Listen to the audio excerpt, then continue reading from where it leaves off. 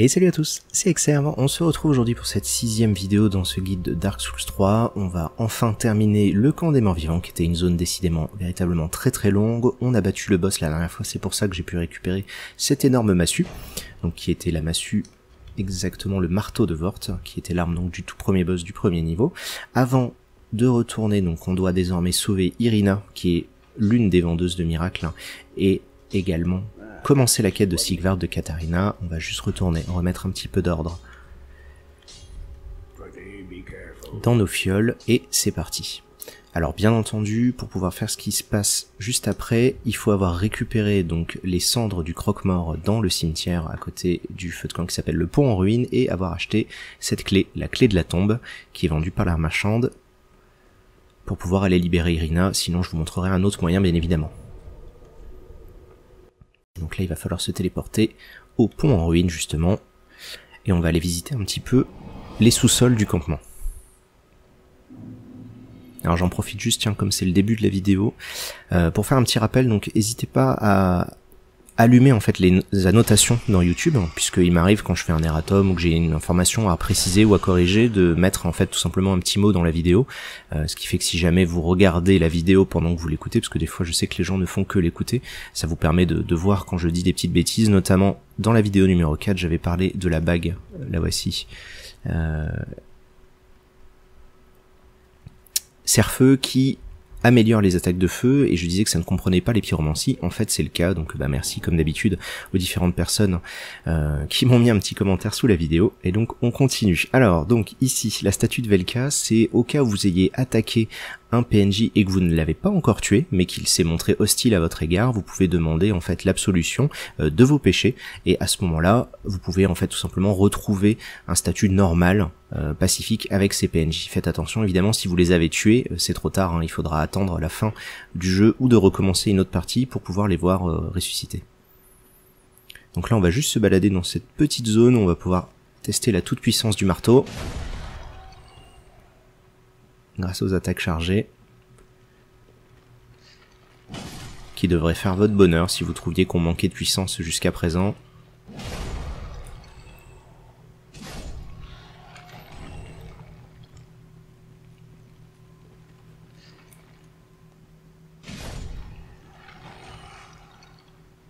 Faudra juste faire attention ici, puisqu'en fait l'ennemi réapparaît dans notre dos.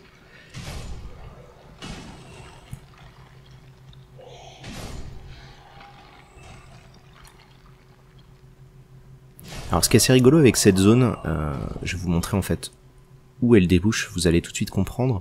C'était donc le dernier pont qui permettait de se rendre à la tour avec l'ascenseur où on a croisé Sigurd pour la première fois. Il arrive très souvent que les ennemis en fait chutent euh, au repop en fait. À chaque fois que vous reprenez le feu de camp, il y a des chances pour que les ennemis tombent en bas, se retrouvent. Euh, donc à chaque fois que vous allez recommencer et vous retrouvez ici, vous aurez une situation différente. Donc là à l'avance, vous voyez, je ne savais absolument pas ce qui allait se passer. J'ai plutôt du bol parce que des fois il arrive que l'évangéliste soit ici, mais là c'est pas le cas. Donc là on va se jeter sur le petit lézard qui est juste là. Vous voyez, vous lui courez sur la gauche pour le forcer à aller du coup logiquement à droite et ça va nous permettre de récupérer une gemme lourde. Alors on pourra pas l'utiliser pour le moment puisqu'il va falloir qu'on récupère une première braise pour André, mais c'est ce qui va nous permettre en fait de renforcer euh, le bonus d'attribut de force de toutes nos armes, ce qui fait que si vous jouez avec un personnage uniquement orienté force, comme c'est le cas dans, ce guide, euh, vous allez pouvoir par exemple améliorer la massue de base ou éventuellement les cestus qui prendront du coup encore plus d'intérêt euh, à ce niveau-là.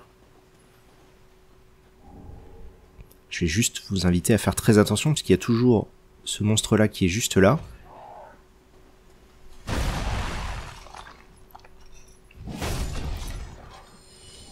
Et qui vous attendait en fait pour vous écraser avec son pot de confiture. Mais peut-être vous ne vous ferez pas avoir. Donc là, toujours même histoire, si vous avez un arc, même en n'ayant pas les statistiques, c'est pas très grave, puisque vous pouvez quand même l'utiliser pour décrocher ce cadavre.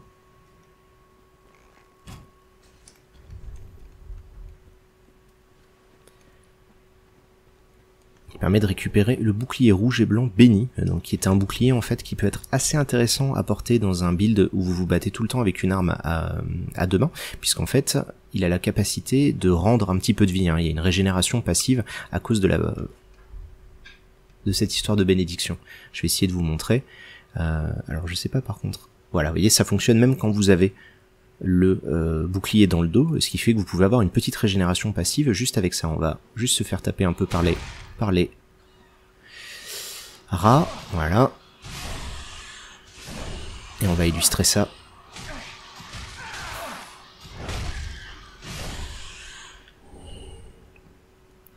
Avec des données chiffrées.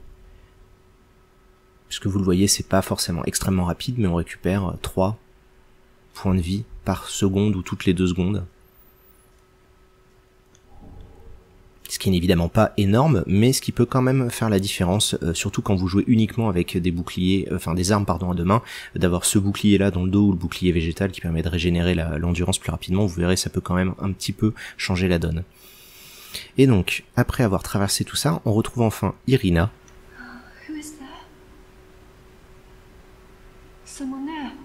Anyone? Oh, please, whoever you are, touch me. The dark surrounds me, nibbles at my flesh.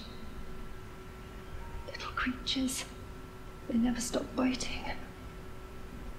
So please, hold out your hand and touch me. Et donc elle va vous demander de la toucher puisqu'elle est en fait aveugle. Pour qu'elle puisse savoir que vous êtes bien un être humain et pas une créature des ténèbres. Yes, are. Et oui, je vais laisser les dialogues à l'avenir parce que pas mal de gens me l'ont demandé, donc moi ça me coûte rien de vous laisser les dialogues des PNJ.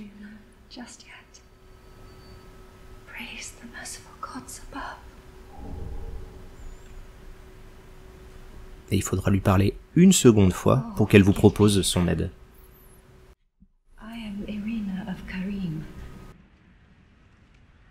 I came to this land so that I might be a firekeeper. Your touch has freed me from the darkness. You are a champion then. I am weak and unfit to tend the flames. But if it would not trouble you, might I enter into your service instead? Et bien sûr, vous allez accepter, oh, tant qu'à faire. Sweet champion. I shall take my vows. I, Irina of Karim, solemnly swear to serve you. Et la voici donc qui retourne au Nexus. Alors du coup, l'exemple d'Irina, je trouve que c'est un très bon exemple du fonctionnement des PNJ dans Dark Souls 3. Chacun d'entre eux, en fait, a ses propres enjeux, ses propres objectifs, et une quête euh, dans laquelle il, euh, il va falloir euh, les assister.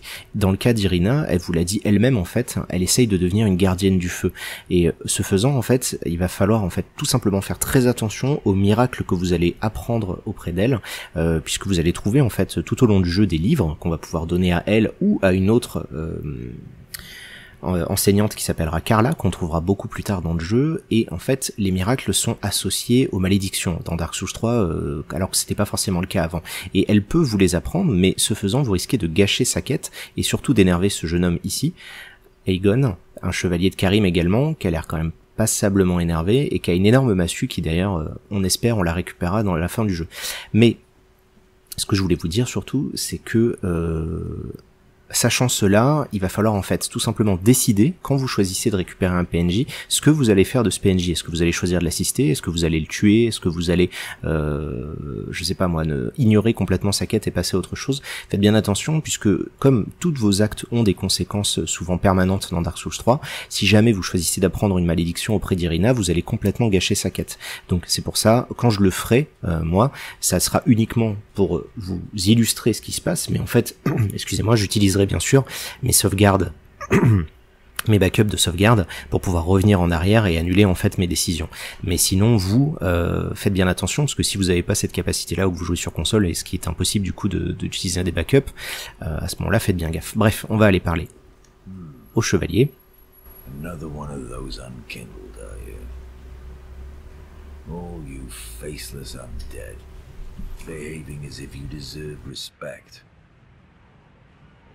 Now you've gone and rescued the wench. How very quaint. Pitying creatures that are beyond help.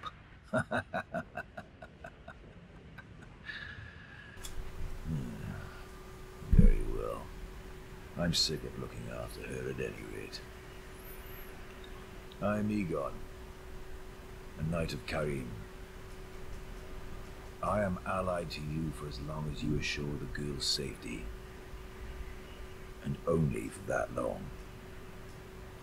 Et voilà, c'est tout ce qu'il y en aura comme dialogue pour l'instant avec Aegon. Faites bien attention, ne l'attaquez pas, parce qu'il est quand même assez costaud à ce niveau-là, même si vous le verrez euh, avec la massue, en fait, c'est assez simple de le tuer en quelques coups. Et juste pour la petite anecdote, si jamais vous avez jamais joué à Demon's Souls, en fait, leur couple tous les deux entre Aegon et Irina, en fait, c'est tout simplement un gros gros clin d'œil et un écho à Garlvinland et à la Dame Astrée, euh, qui était le boss de fin du niveau 5, hein, où ils étaient tous les deux dans exactement la même situation. Ah, bon, je voulais grimper. On va continuer en fait, on va même plutôt commencer la quête de Sigvard, on l'avait déjà juste croisé, il était bloqué avec son histoire d'ascenseur. Étant donné qu'on a utilisé l'ascenseur, on l'a débloqué, et il nous attend à mi-chemin sur le trajet pour monter en haut de la tour.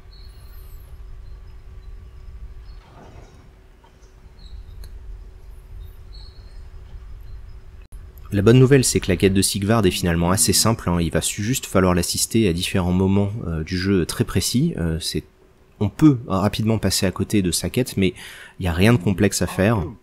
Et surtout, on a pas mal de temps euh, avant d'arriver véritablement au moment où ça sera critique de l'avoir raté. Donc là, comme d'habitude, il hésite et on va devoir en fait l'assister pour tuer cet énorme monstre là-bas, qui n'est pas un boss, hein, c'est juste un trash mob comme un autre, mais il a quand même une âme. Well, it's too late now. I, the of fight by. Ah! Alors il va pas forcément lui faire énormément de dégâts, mais vous allez pouvoir vous glisser derrière lui et utiliser vos attaques chargées pour vous en débarrasser.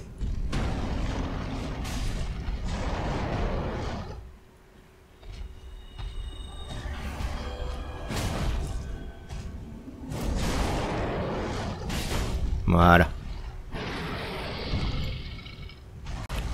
Juste pour vous montrer, ce combat-là aurait pu être... Euh non, pardon, c'est pas celui-là qui a une âme, je confonds avec un autre. Mais euh, juste pour vous montrer, ce combat-là aurait pu être beaucoup plus complexe si on n'avait pas eu une arme aussi puissante dès le début du jeu. Et bien entendu, votre objectif, c'est de tuer l'ennemi, mais surtout de vous garantir que Sigvard ne meurt pas. Ça, c'est très important. That was quite a performance. But you mustn't get in over your head. We unkindled must put our duties first. But, for the moment, leave a toast to me. Your valor, my sword, and our victory together. Long may the sun shine.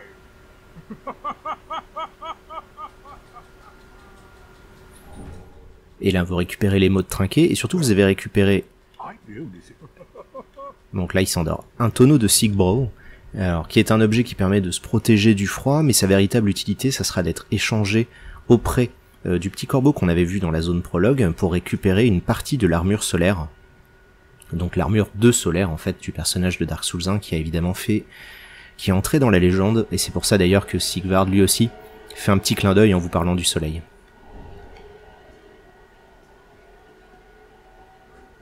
Donc on a toute cette zone à explorer, c'est pas très complexe, il a pas grand chose à faire. Juste quelques objets à récupérer. Une langue pâle, alors qui est un objet lié au serment. Euh, touc. Je sais plus si c'est ceux-là qui fonctionnent avec le le serment de Rosaria pour changer de changer de stats, mais bon c'est pas très grave, on aura l'occasion d'en reparler en temps voulu. Donc là on récupère tout un nouveau set qui est le set du guerrier, donc l'armure nordique le set du mercenaire, je sais plus quel est le nom exact en français.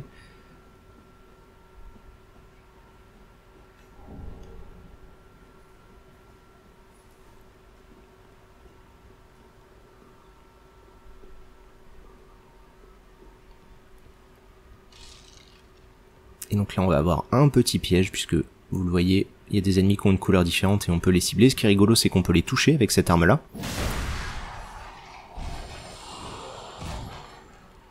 Qu'on a une attaque avec une portée énorme, on peut les tuer avant même qu'ils ne tombent. Là attention, c'est un tout petit peu plus tricky, mais qu'il y a des chiens en fait qui vont vous attaquer. Moi je me sers en fait de la ténacité pour pouvoir les repousser.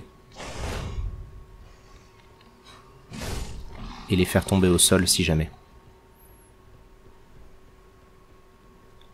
Un autre piège.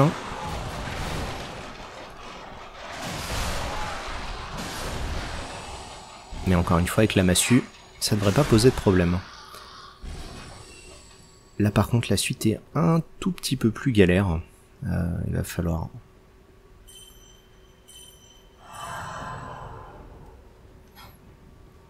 faire attention parce qu'on a en fait deux évangélistes. Alors l'avantage c'est que automatiquement il y en a une des deux qui va prendre le rôle de magicienne et l'autre qui va essayer de vous attaquer au corps à corps. Normalement, à moins d'un gros problème d'IA, ce qui devrait du coup théoriquement avec la loi de Murphy m'arriver dans cette vidéo. Mais normalement il y en a qu'une qui va vous poursuivre réellement. Et bah là regardez, comme par hasard, les deux essayent de me poursuivre. Non voilà, elle va me lancer des magies.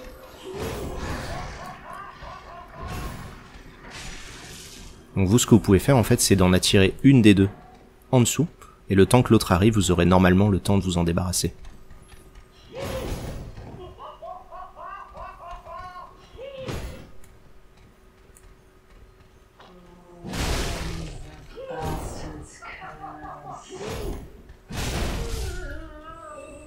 Et là, bien sûr, on peut toujours profiter des attaques qui passent à travers les murs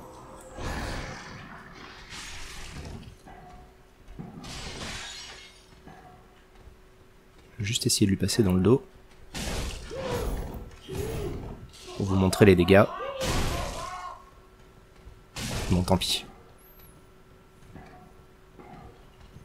Voilà.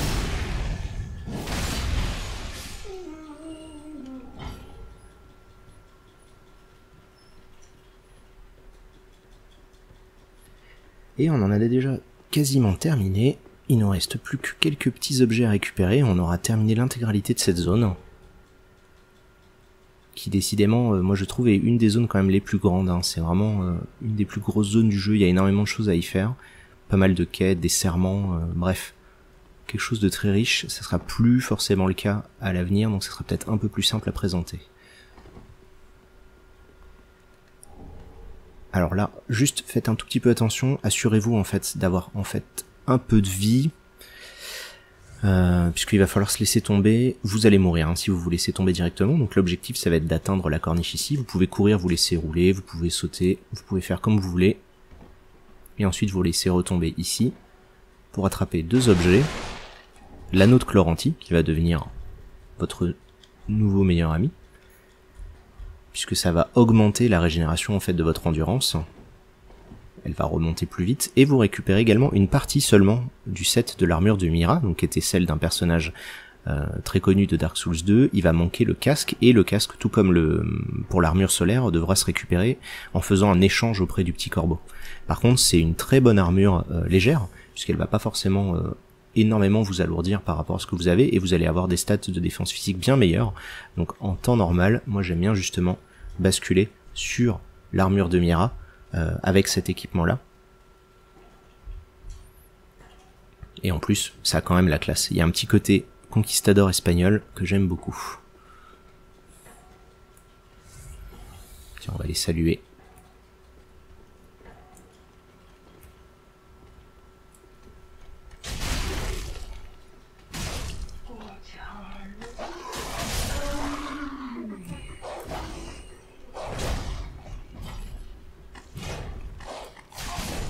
Voilà. Et à partir de là, bah du coup, on en a enfin terminé avec toute cette zone. Normalement, je n'ai pas oublié d'objet. Vous voyez, c'était cette zone dont je vous parlais en tout début, où les ennemis des fois se mettent à tomber euh, tout seuls dans le vide sans qu'on sache pourquoi.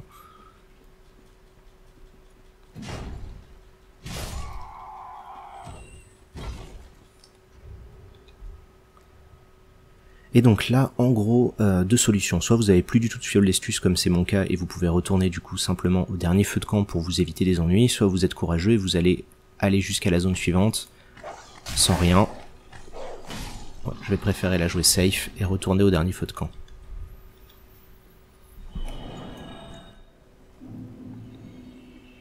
puisqu'on en a terminé comme je disais avec cette zone, la seule chose qui va nous rester à faire maintenant c'est de se débarrasser d'un ennemi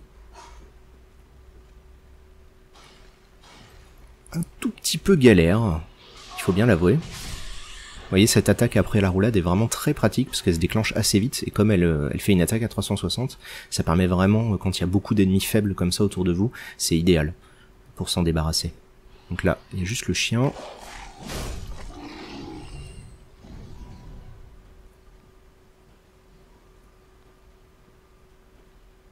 Donc soit vous avez la technique de je cours au milieu et ça va bien se passer, soit on va essayer de les tuer un par un.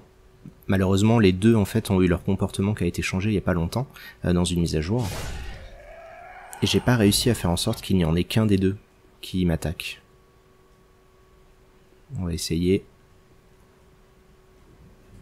Ouais, il me semble bien que les deux attaquent en fait en même temps.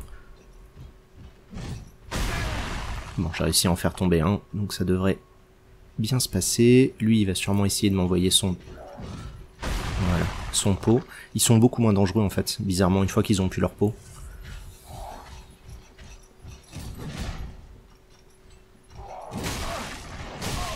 Faut juste faire attention à l'hémorragie.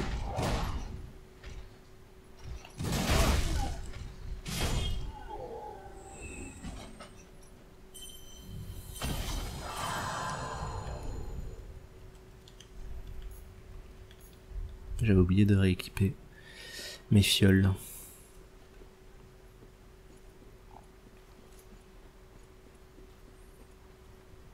Et donc tout ce qu'il nous reste à faire, c'est d'aller, comme je disais, se débarrasser d'un ennemi. Là, vous le voyez, Aegon est parti. Si jamais vous bloquez sur l'ennemi qui suit, en fait, vous prenez pas trop la tête.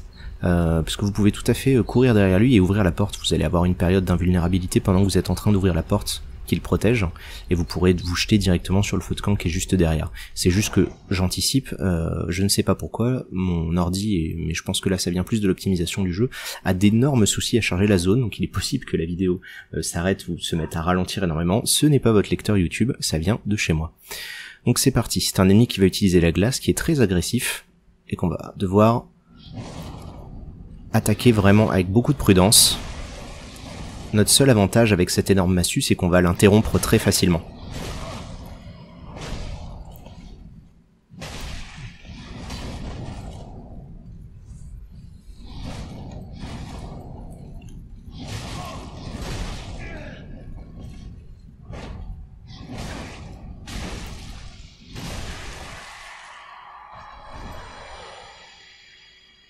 Et donc une fois mort, il ne réapparaîtra pas, donc il n'y a pas d'inquiétude à avoir à ce sujet. On peut récupérer une braise qui était posée juste là. Et on a récupéré surtout l'épée droite d'Iritil, qui était une épée que j'ai utilisée euh, jusqu'à la fin du New Game Plus, donc ça fait partie de ces épées droites très puissantes. Euh, une fois améliorée à fond, elle marche vraiment bien. Elle a évidemment, comme toutes les épées, une vitesse d'attaque véritablement impressionnante et surtout avec une barre d'endurance conséquente, vous pouvez enchaîner les attaques, en faire 6 ou 7 d'affilée, et donc provoquer euh, ce qu'on appelle un état de permastun sur les ennemis. Là, moi, je vais rester sur mon marteau, puisque j'avais envie de proposer un guide avec des armes un peu différentes, et donc c'est parti pour les ralentissements.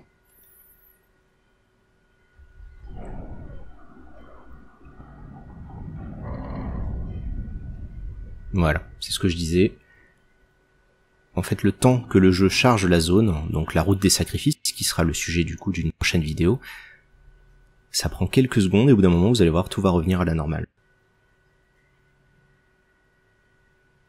Et voilà. C'est le temps en fait qui charge l'intégralité de la zone puisque le jeu a assez de mal quand il s'agit de faire des chargements, normalement l'ouverture des portes est censée masquer ce genre de passage mais là ça n'a pas fonctionné.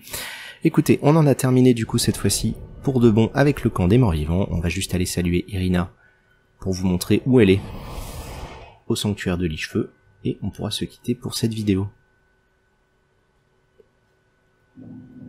Je suis assez content d'en avoir terminé parce que c'était assez complexe toute cette zone, il y avait beaucoup de choses à faire, j'étais pas forcément euh, sûr et certain du chemin que je voulais vous montrer. Et au final, j'ai préféré choisir quelque chose de plutôt simple plutôt qu'essayer de me creuser la cervelle à faire un, chemin extrêmement optimisé. Oh.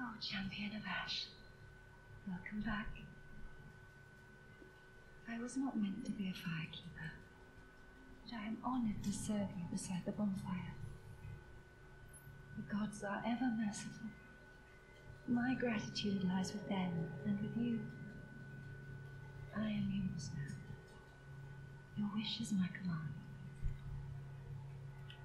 Vous allez pouvoir évidemment acheter un anneau auprès d'elle et surtout apprendre les premiers miracles de base. Euh, donc en l'occurrence celui qui va nous intéresser très rapidement ce sera retour, mais j'ai pas suffisamment de foi pour pouvoir l'équiper, euh, ce qui vous permettra d'utiliser, de ne plus avoir besoin d'équiper des eaux du retour, euh, puisque c'est exactement le même effet. Vous avez l'arme apaisante qui fonctionne extrêmement bien également, puisque c'est ce qui va vous servir à vous soigner de toutes les affections si vous avez du poison ou quoi que ce soit.